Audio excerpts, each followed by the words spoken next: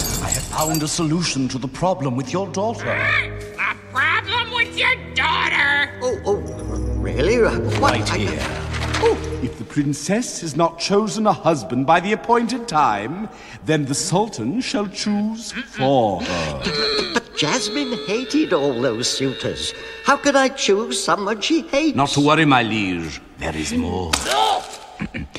If, in the event a suitable prince cannot be found, a princess must then be wed to.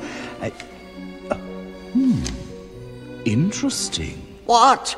Who? The royal vizier. Well, that would be. me.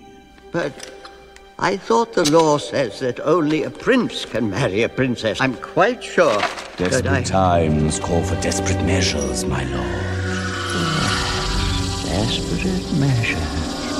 You will order the princess to marry